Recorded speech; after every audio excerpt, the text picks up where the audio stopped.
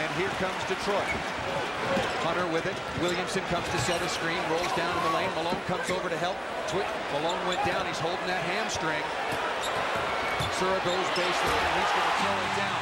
Karl Malone could not get over to react, and he was being screened out of the play. Yeah, he definitely tweaked the left hamstring, but one thing, you don't play 18 years, only miss 10 games, and not be tough. We've got a timeout. 7.31 to play.